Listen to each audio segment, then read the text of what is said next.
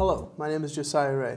I'm going to show you how to find out what your router's IP address is.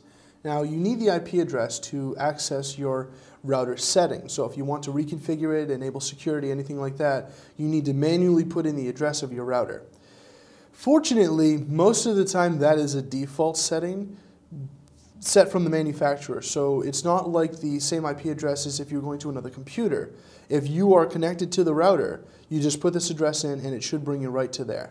Now I've got a kind of a cheat sheet set up here on my computer. This is the address for like a, a Linksys router or something like that.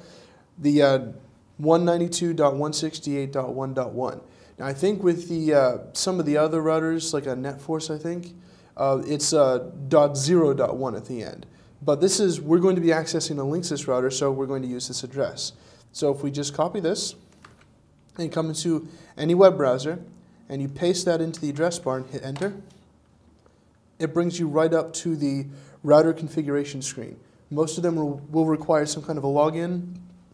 You can contact your manufacturer if you don't know what yours is. It's usually just a default. If you've set it and you've forgotten it, you might need some help resetting it. But this is how to get into your router and what the IP address is. I hope you've enjoyed this video. I'm Josiah Rea.